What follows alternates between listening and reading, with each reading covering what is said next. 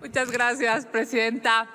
De verdad que son una vergüenza y para acabarla tienen una mayoría, porque ¿cómo se atreven a poner en la agenda política la disminución de la desigualdad cuando no es cierto? ¿Por qué no se atreven a hablar de lo que de verdad es cierto? Lo que es cierto es que están matando a los mexicanos en la calle pero no se atreven a ponerlo aquí y la mesa directiva no se atreve a tener los pantalones para hablar de los temas que sí le preocupan a los mexicanos. ¿De verdad ustedes creen que han disminuido la desigualdad? ¿Qué no leen?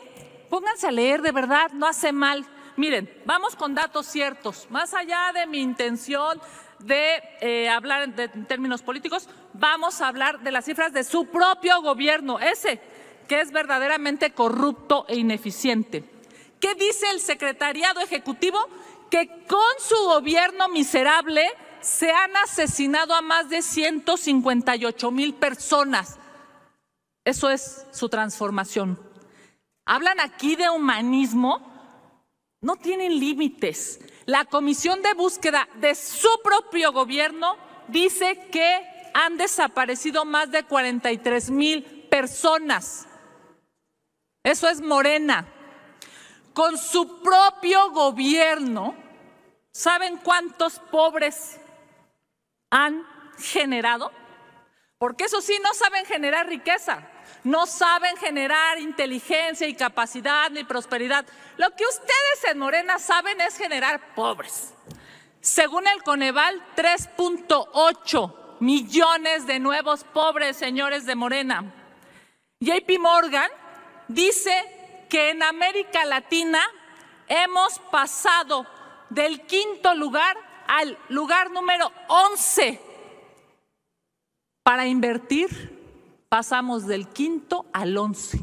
Pues claro, ¿quién va a querer venir a invertir en México si en Morena, a mano alzada, destrozan las inversiones? ¿Por qué no hay empleo? Pues porque ustedes no generan certeza legal. ¿Qué no se dan cuenta? Viven en el privilegio, están asquerosamente millonarios y no saben lo que está sufriendo el pueblo de México. La Secretaría de Hacienda, señoras y señores de Morena, dice que este gobierno miserable y corrupto se ha endeudado con 11 billones de pesos, con B de burros. 11 billones de pesos este gobierno que prometió que no se iban a endeudar, eso están dejando como herencia. ¿Transformación? ¿Cuál? ¿Transformación de muertes? ¿De pobreza? ¿De endeudamiento? Miren, el Coneval dice que un millón doscientos mil niños no van a estar en el ciclo escolar 2022-2023. ¿No les duele? De verdad, ¿no se sienten mal? ¿No sienten que han pasado a la historia lastimando a las mujeres, lastimando a los niños, lastimando a los migrantes, lastimando a quienes menos tienen? Porque es una realidad. Dice su agenda crecimiento económico, no sean hipócritas. Ustedes han hecho a los ricos más ricos y a los pobres más pobres. Eso es lo que dicen los datos del gobierno.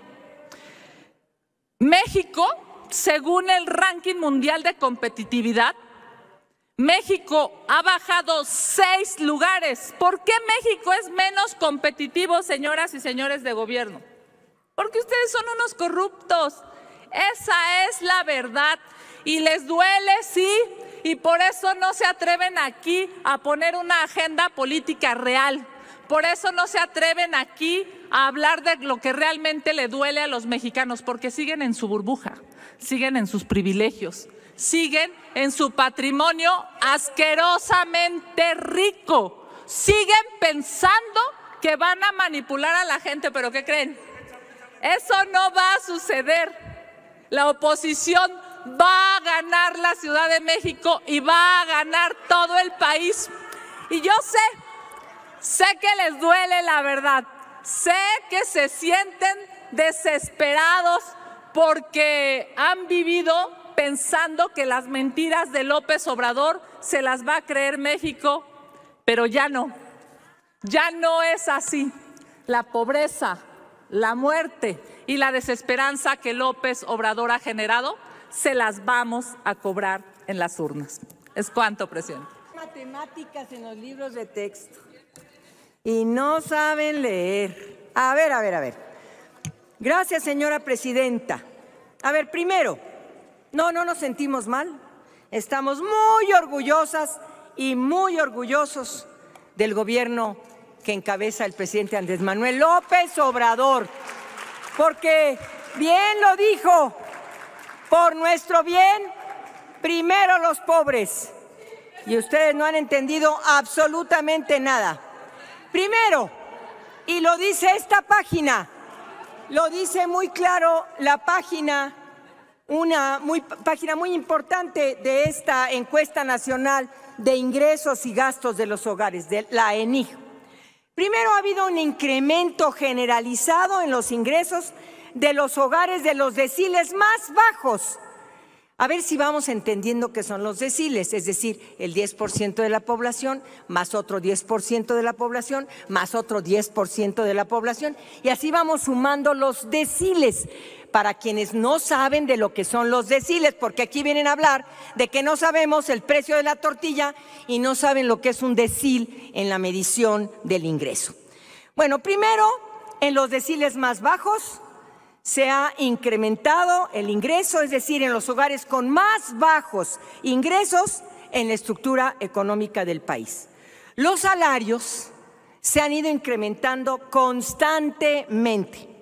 Hay un 14% más en el salario que en 2020. Mm, perdóneme, Presidenta, ahorita no voy a aceptar ninguna pregunta hasta que termine. Gracias.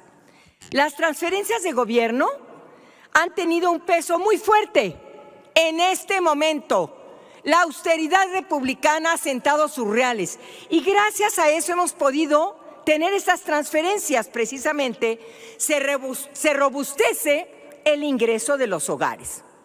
Y esto nos da una gran posibilidad de ayudar a una clase media fortalecida en el país.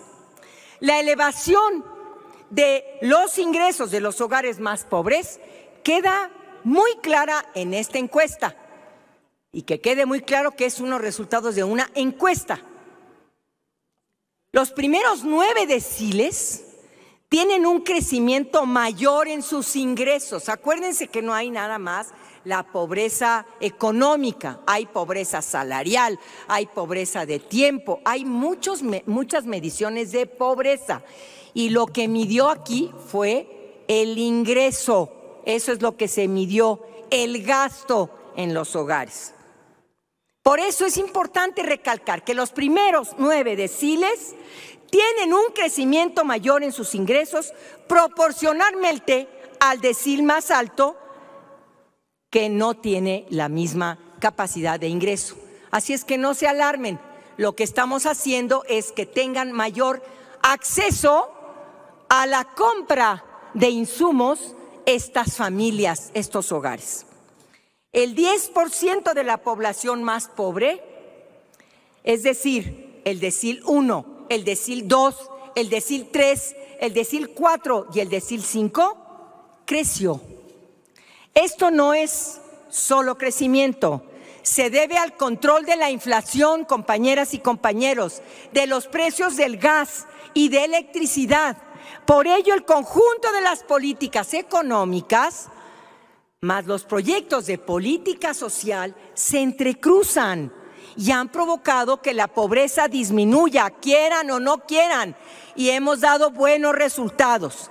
La pobreza del país, según la proyección que se está haciendo, va a disminuir de verdad más adelante, les guste o no. La pobreza laboral había venido disminuyendo aún a pesar del COVID. Y estamos en plena recuperación, pues tendremos el 3 o el 4% del Producto Interno Bruto.